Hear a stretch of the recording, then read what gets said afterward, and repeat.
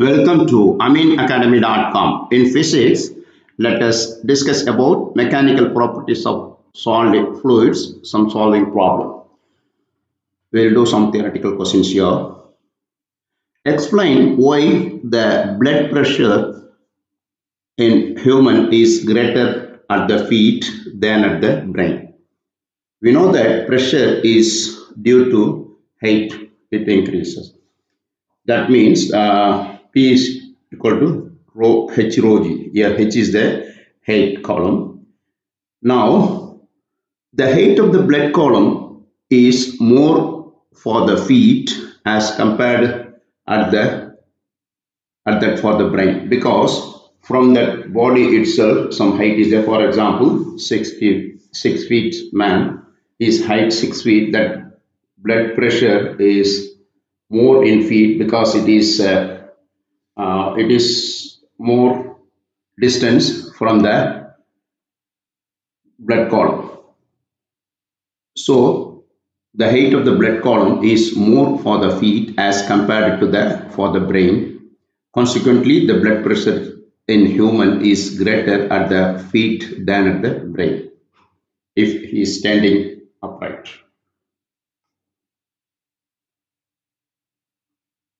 Second question, atmospheric pressure at a height of 6 kilometer decreases to nearly half of its value at the sea level, though the height of the atmosphere is more than 100 kilometer. Here, that actually atmospheric pressure is reducing if you go up and up in the sea level.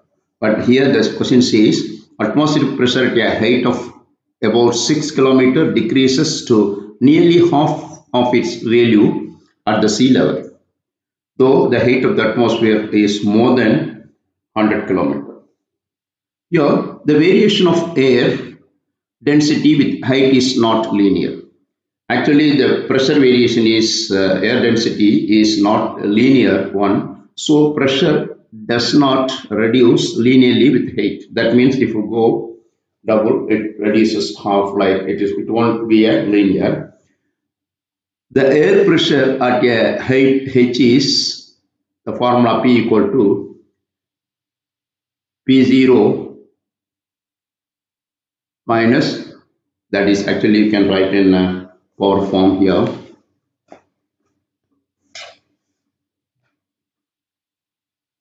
equal to P equal, the pressure function is P0 and e power minus AH. Here is a pressure function uh, in terms of height is uh, it's not a linear function. So it is uh, this function is uh, it's not a linear function. So it is P0 represent the pressure of air at the sea level and alpha is the constant.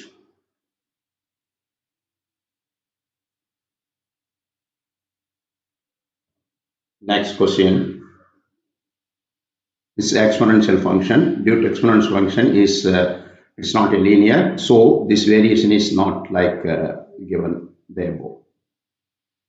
Next, hydrostatic pressure is a scalar quantity even though pressure is force divided by area. Here, pressure formula is force divided by area, but it is a scalar function because pressure is in everywhere is directions changing because you are standing on a floor, your uh, pressure distribution is in every directions in the floor.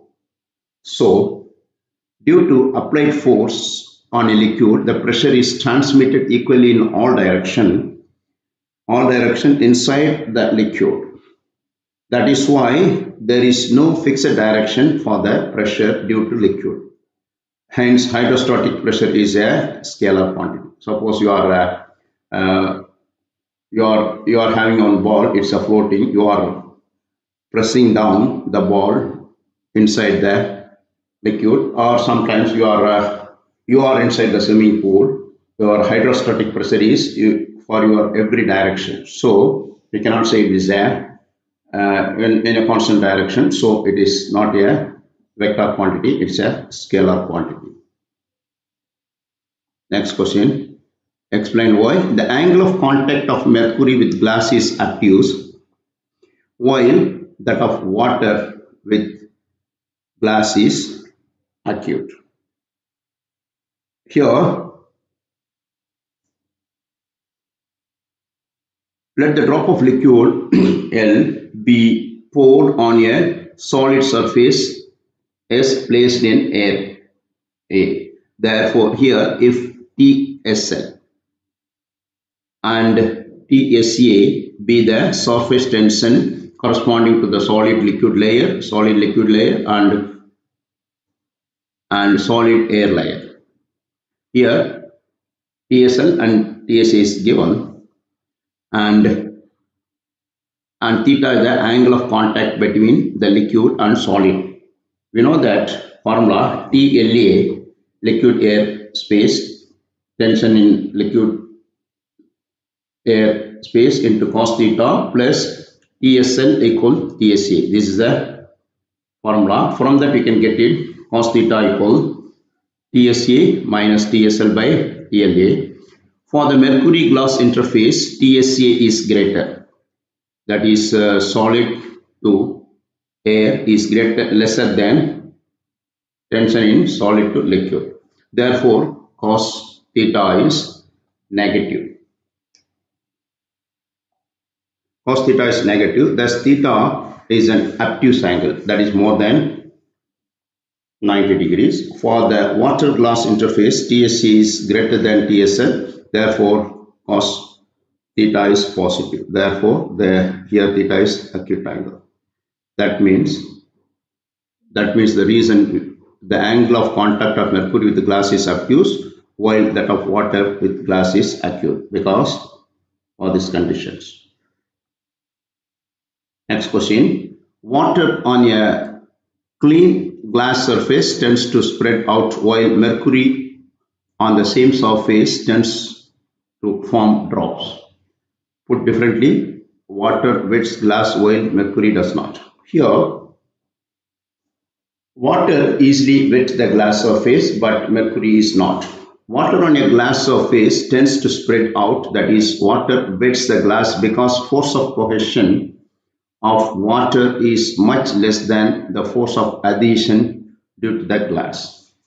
In case of mercury, force of cohesion due to mercury molecule is quite strong as compared to the adhesion. That means the contact surface, contact of glass and mercury, uh, coefficient of adhesion is less than the co coefficient of cohesion. That means what mo molecule itself, mercury molecule itself more strongly attract force due to the glass. Uh, consequently, mercury does not wet glass and tends to form drops. Here, the surface tension uh, because of um, cohesion force between the molecular molecules of mercury is very high than the water itself. So water easily spread and mercury is not. Surface tension of a liquid is independent of the area of the surface. Here surface tension of a liquid is the force acting per unit length on a line drawn tangentially to the liquid surface at rest.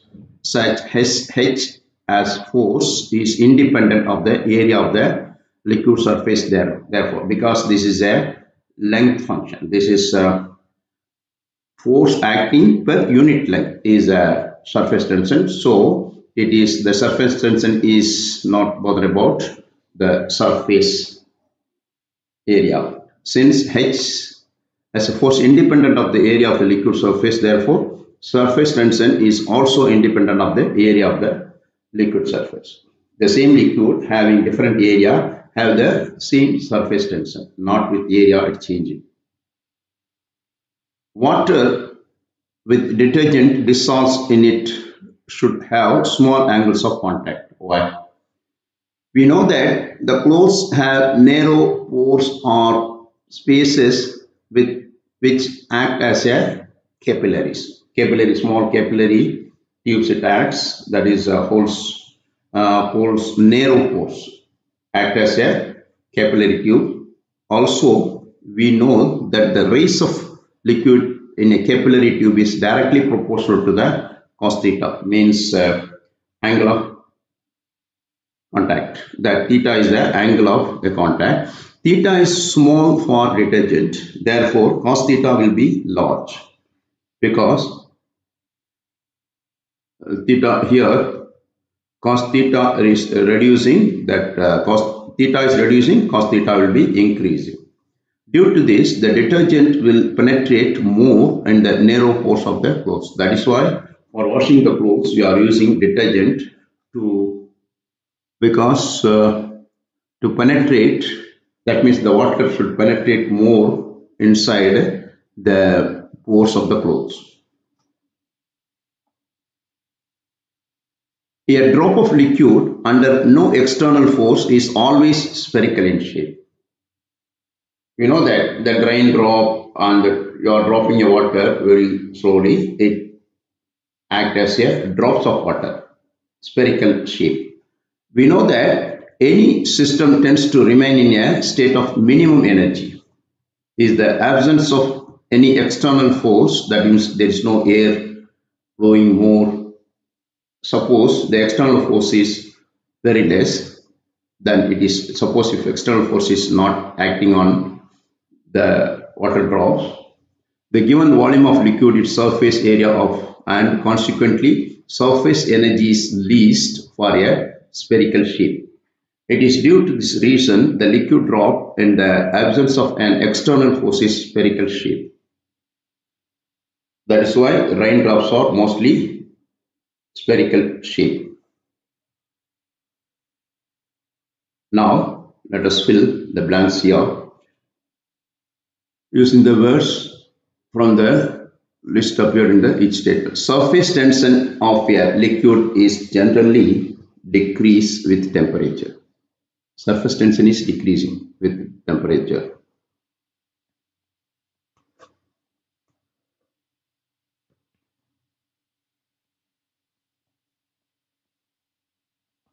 degrees.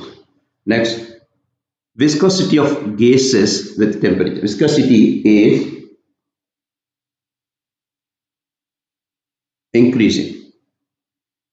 Viscosity of gases is increasing.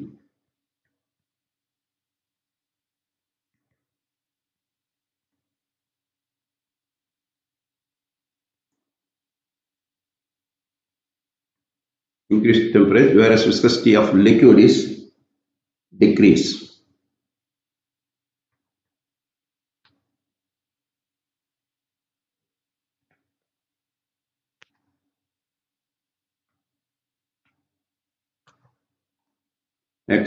For solid, for solids, the elastic modulus of rigidity, the shearing force is proportional to shear strain.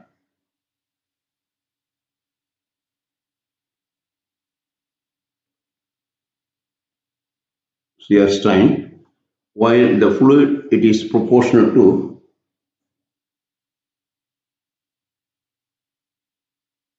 rate of shear strain.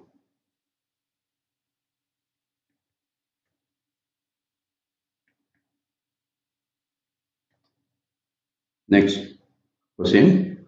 For a fluid is in steady flow, the increase in flow speed at a constriction follows from conservation of mass.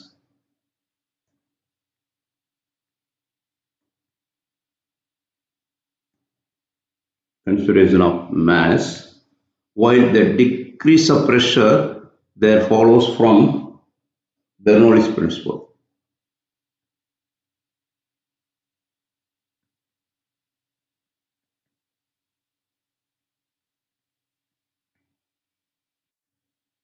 Next question. For the model of a plane in a wind tunnel, turbulence occurs at a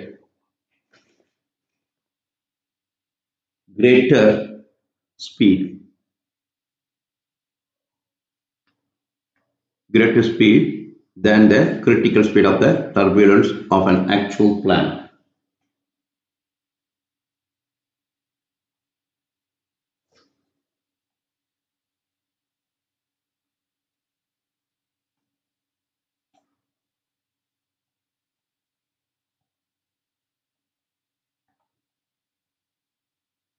We have done. Please subscribe our YouTube channel.